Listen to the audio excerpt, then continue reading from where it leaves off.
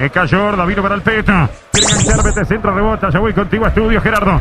Reventando Olivera, saca la pelota, Peñarol viene para el Canario. En el círculo central termina marcando a media Francisco Ibáñez. Le queda la pelota por izquierda, Cepelini de primera al medio para Gargano. Enganchó, la llevó de cazuela, pero se la lleva al fin, quedó para el Canagol. Mira que viene enganchó en el medio, se fue del marca de Correa. Abre por derecha, Alberto viene para el bajo. Ataca Peñarol, buscará centro. Aguirre Garay se frena frente a Ancheta, dibujó hasta el fondo, sigue dibujando. Se le van a sacar, no, la mantiene. Escapó notable. Se mete por derecha, bajo el centro, el toque atrás, Cepelini al arco. ¡Gol!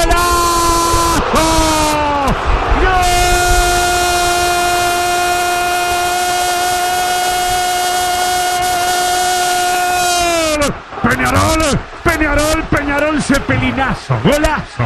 ¡Gol! De Peñarol a los 13 minutos por derecha. Desbordó el 13. El Vasco parecía que la perdía porque demoraba. Lo venían a marcar los hombres. Se fue de la marca de Pizorro, se fue de Ancheta. Se metió al área, toca atrás de volea. De volea que remate Pablo. Que remate Cepelini. Festeja el número 8 de Peñarol al ángulo. Superior derecho fue la pelota. Terminó rebotando en el palo y se metió. En el arco de Irrazaba, el arco de Amsterdam. Estalló el centenario. Abre la cuenta Peñarol. Uno para Peñarol, cero para Albion. Pablo Cepelini, el autor del golazo. Golazo de Cololo. Y un partido que casi que no se había armado, que no había tenido demasiado, pero que tuvo esta brillantez del Vasco Aguirre Garay. Entre dos parecía que estaba rodeado y marcado por las líneas, pero la tiró para adelante, ganó en velocidad y después sacó un toque hacia atrás para que ese Pelini la clavara en el ángulo cruzado, un golazo para empezar a darle tranquilidad a Peñarol. Iba perfilándose lentamente la superioridad colectiva e individual de los hombres de Peñarol sobre los de Albion. El jugadón de Matías Aguirre Garay merecía una definición como la de Cepelini. La jugada fue redonda y redondo es el gol temprano para este bálsamo que necesita un Peñarol conmocionado en el comienzo del campeonato. Fútbol por Carve. Qué golazo, ¿eh? Amarilla fue para Bonifaci que metió el codo cuando fue a marcar. Señoras y señores, 46 con 10, tiempo cumplido, adicción cumplida. Busca el empate, mira vos, Albion. De las pocas llegadas que ha tenido en este primer tiempo, será esta la última. De pelota quieta. Por derecha, Ángelo Rodríguez para meter al mío con pierna derecha, precisamente por Olímpica para dar la pelota. Por Carvestano. Ángelo, el centro, Cayorda. ¡Gol!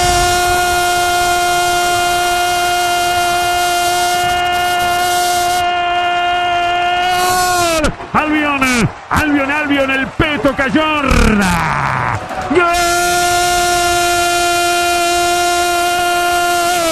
De Albion, señor. ¿Qué les decía? Que no había tenido ningún Albion. Que esta pelota parada sería la única del primer tiempo para el pionero. El centro por derecha. Lo metió Ángelo Rodríguez. Casi que por el corazón del área mayor. Apareció el coco del peto Cayorda. Para ponerla junto al poste derecho. Sin asunto Lawson. ¿Cómo termina el primer tiempo? Uno para Peñarol, uno para Albion. El peto. Maximiliano Cayorda, el autor de gol. Golazo de Cololo.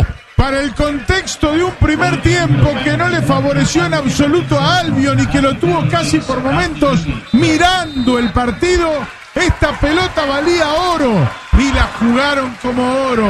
Centro perfecto y el goleador Cayorda en la única oportunidad que tuvo en todo el primer tiempo la mandó a guardar. Premio excesivo para Albion. Castigo para un Peñarol que no supo asumir su protagonismo. Un Peñarol amarrete, un Peñarol que venía a este partido último sin goles a favor. Hizo el gol y se tranquilizó. Como que dijo, ya está, con este gol me saco la mochila. Bueno, se quedó en los laureles. No fue profundo. Todo lo bien que había hecho lo dejó de hacer. Lo intentó en alguna ocasión y la dejó pasar. Y Albion, en la única que pudo estar sobre el área de Kevin Dawson, aprovechó con el centro bien ejecutado y el cabezazo, peinando para dejar parado al arquero y empatarle el partido en el final. Era para goleada. Nos vamos uno a uno. Fútbol por Carve. Señores, ha pitado Cristian.